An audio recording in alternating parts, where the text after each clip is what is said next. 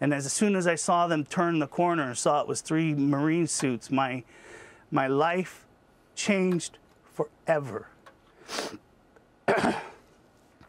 and uh, I went down there and met them, and I think I did before they even knocked on the door. Este fue el padre de uno de los marines que murió en el ataque fuera del aeropuerto de Kabul en Afganistán, el cual estaba hablando sobre la pérdida de su hijo y voy a reportar más adelante lo que él tiene que decir del presidente Joe Biden. También sigue en desarrollo en tratar de evacuar a todos los americanos y los aliados de Afganistán y el Pentágono ya sacó a la luz el nombre de los 13 miembros del servicio militar de los Estados Unidos, los marines, que perdieron la vida en el ataque. Y más padres se han quejado sobre el manejo de la operación que resultó en la muerte de estos marines. Y antes de empezar, quiero decir que hablando del tema de los marines y los militares, el ejército y todo lo que conlleva defender a los Estados Unidos, hemos hablado de los marines y algunos marines se han comunicado conmigo para expresarme que se debe de hacer una distinción entre los soldados y los marines, aunque ambos tienen obligaciones similares de defender a los Estados Unidos. Los marines tienen misiones diferentes entrenamientos diferentes y tienen la capacidad de atacar por tierra y también por mar. Y esto incluye misiones de ataque, misiones de captura y control. Son una fuerza de asalto táctico. Como yo respeto mucho a los miembros militares de los Estados Unidos en todas sus ramas y los marines, quiero hacer la distinción de que los marines tienen un entrenamiento un poco diferente y ellos quieren que se respete su nombre como marines. Este es el Ray Studios. Y en estas últimas noticias, el Pentágono de los Estados Unidos sacó a la luz el nombre de los marines y miembros del servicio militar que murieron en el ataque terrorista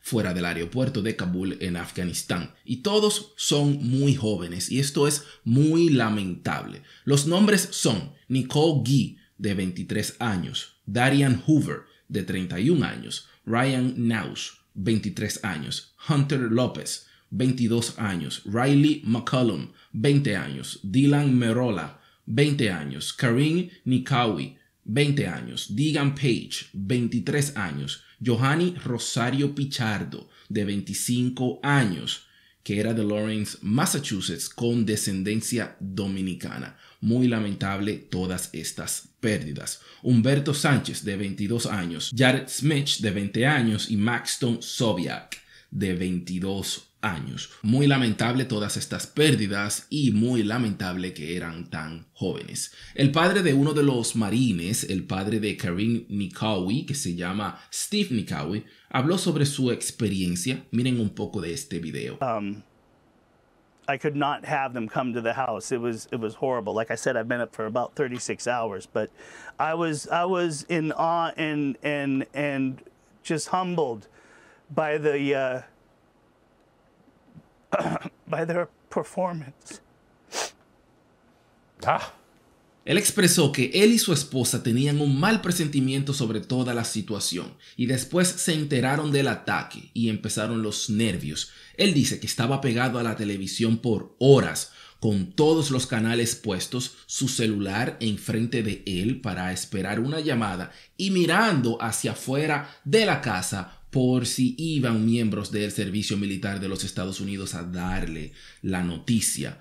Él dice que no sabía si iban a llamar, si iban a ir a su casa o si el presidente mismo los iba a llamar antes de dar el discurso, que él no sabía qué hacer. Él estaba muy triste, lloró en la entrevista porque fue muy emocional y cualquier persona que se imagine la pérdida de un hijo esto le llega hasta lo más profundo de su corazón y uno puede entender el dolor tan grande que estas familias pueden sentir. Él dijo que los marines que les dieron la noticia, ellos estaban aún igual de tristes que él estaba, porque los marines se consideran hermanos también. Y en otras entrevistas, él dijo cosas como que él culpa a nuestros líderes militares y que Biden le dio la espalda a su hijo asesinado. Enviaron a mi hijo para ser push paper o mensajero de oficina allá y lo tenían dándole seguridad a los talibanes afuera.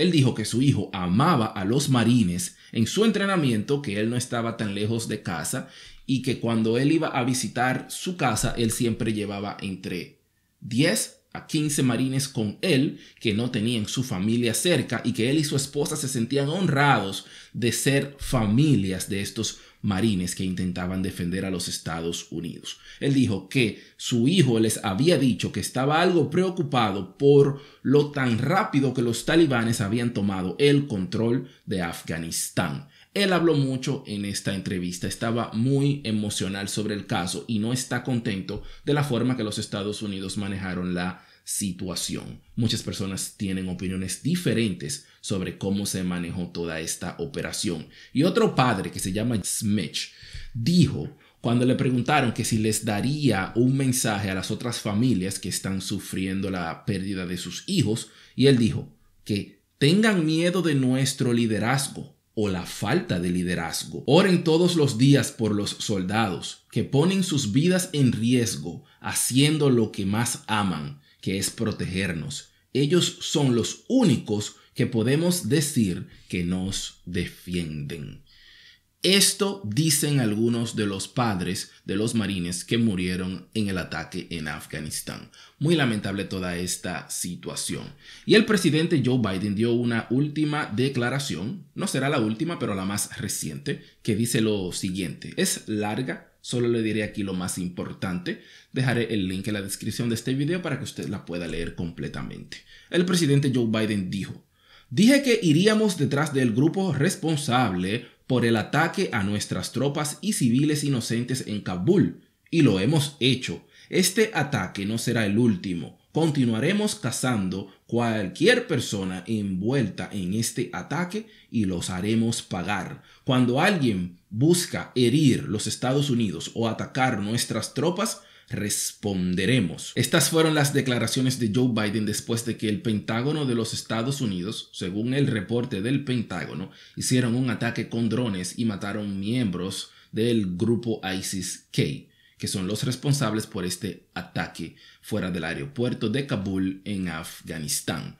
Biden dice que puede haber otro ataque para este, en contra del grupo ISIS dentro de las próximas 24 a 36 horas. Esto es porque hay amenazas de que pueden haber más ataques en contra de los militares que están en Afganistán y los inocentes y todas las personas que intentan salir.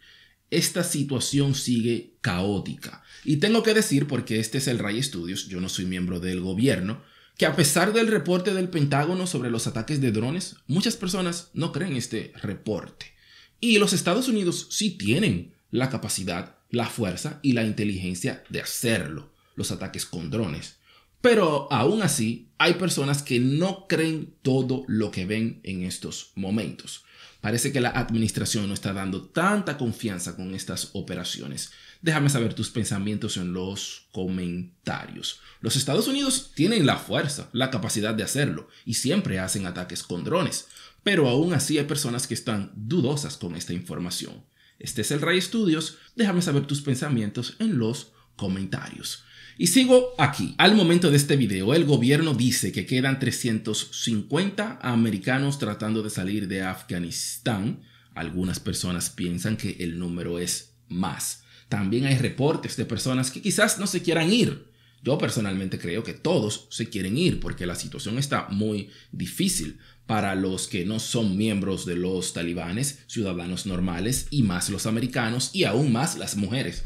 Así que es una situación muy difícil en estos momentos. Muchas personas tienen quejas de que la guerra en Afganistán se terminará, pero que los talibanes volverán a tener el control de Afganistán. Y muchas personas apoyan que Joe Biden sacara las tropas, pero muchas personas no apoyan la ejecución de cómo se hizo de sacar estos militares antes que los civiles que ha causado toda esta situación y ya el presidente Joe Biden ha dado varios discursos sobre todo lo que está pasando. Cuando haya información nueva sobre todo esto, aquí en el Ray Studios seguiremos reportando todas estas noticias. Déjame saber tus pensamientos y tus análisis sobre todos estos temas y qué tú opinas sobre todo esto. Como las últimas noticias, también mi gente del Ray Studios, el huracán Ida que potencialmente puede llegar a Luisiana en categoría 4 se acerca y puede ser devastador para New Orleans. Muy difícil. Se está haciendo evacuaciones en New Orleans y el último huracán fue Katrina hace 16 años y fue devastador. Se está tratando de evitar una tragedia en estos momentos. Mis respetos y condolencias a las víctimas que perdieron la vida y sus familias también que están sufriendo en estos momentos. Déjame saber tus pensamientos en los comentarios, qué tú opinas sobre todo esto. Este es el Ray Studios.